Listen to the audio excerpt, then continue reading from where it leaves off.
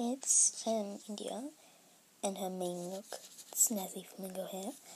And um, today, in honor of Valentine's Day, I got so many Valentine's stuff, I am going to be giving away this. Oh, where is it? Where is it? Where is it? Oh, it's already on my trade list. This um,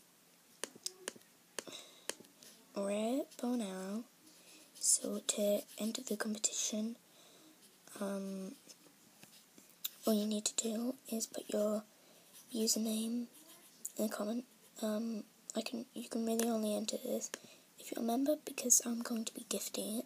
So put your um, username in the comment section down below, and I will choose someone to give it to.